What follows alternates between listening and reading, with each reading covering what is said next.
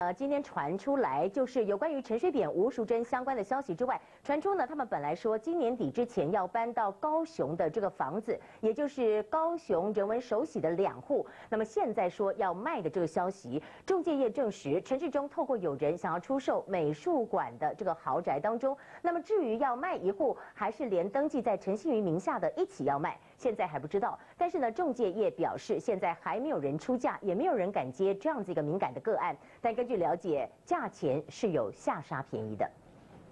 扁家位在美术馆的豪宅不再敲敲打打，中介业也已经证实要卖了。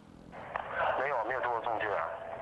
那是怎么卖？这种这种案子，应该中介公司也不太敢接吧。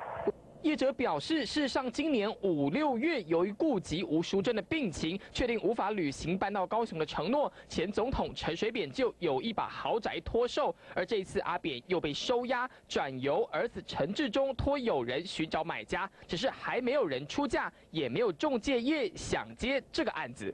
这这牵涉到，我其实只要牵涉到政治的，我们都是尽量都回避掉啊。那他有说开价多少吗？没有说呢。只有只有只有我们要卖，可是并没有听到价钱的部分的。扁家美术馆豪宅共有两户，位在十五楼，算是中高楼层。一户登记在陈水扁的名下，一户则是陈信宇，不算公共建设，室内合计大约一百三十平。陈志忠托有人出售，是只卖一户还是两户要一起合售？目前并不知情。扁家原本计划南迁取暖，毕竟南台湾还是绿营执政的县市，但深陷官司泥沼，注定无缘享受豪华的装潢。中天新闻翁崇文纪博士高雄报道。